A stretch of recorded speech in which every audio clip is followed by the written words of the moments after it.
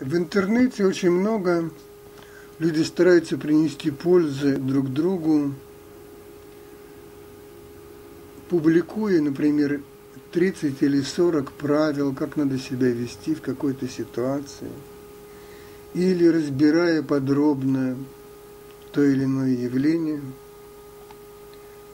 и, так сказать, э, представляя, что это принесет большую пользу.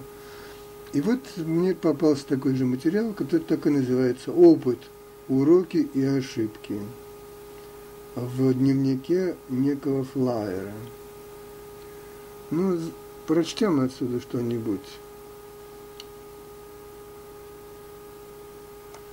чтобы понять дух этого мероприятия. Мало кто из нас учится на чужих ошибках, но поразительно то, что единицы учатся и на своих собственном опыте. А зря, ведь наши успехи и неудачи могут помочь в будущем увеличить количество первых и сократить количество вторых. Как же извлекать уроки из своего опыта? На первый взгляд кажется, что ответ на этот вопрос очевиден. Не нужно повторять ошибок, и наоборот, нужно стараться повторять те действия, которые однажды привели нас к победе.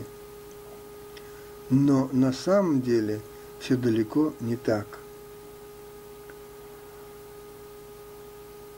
Ведь то, что в одной ситуации было удачным шагом, в другой станет фатальной ошибкой.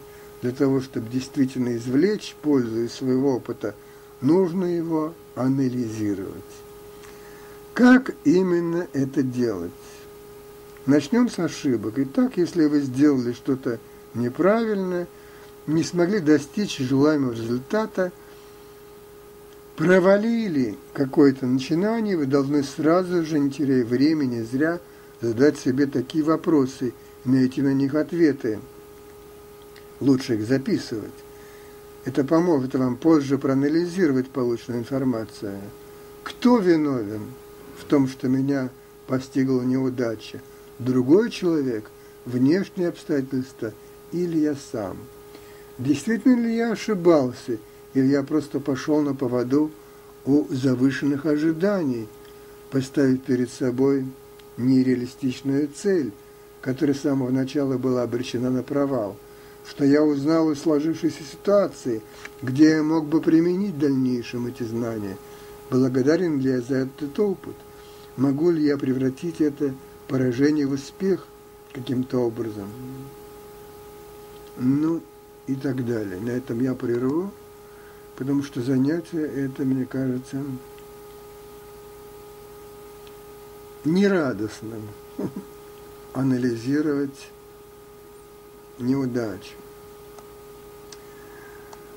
Нерадостным. И по этому поводу я написал эссе, что интуиция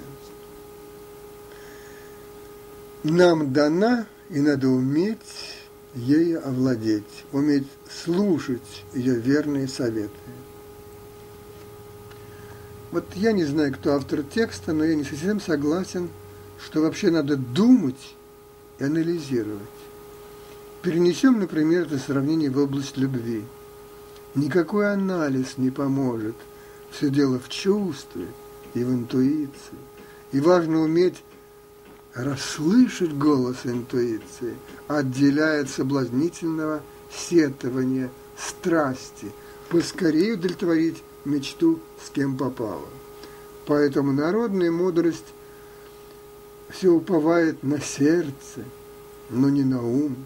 Действительно, человек бы не выжил на протяжении миллиона лет, если бы надо было каждый раз думать, исследовать правилам. Интуиция нам дана, и надо ей уметь овладеть, уметь слушать ее верный совет.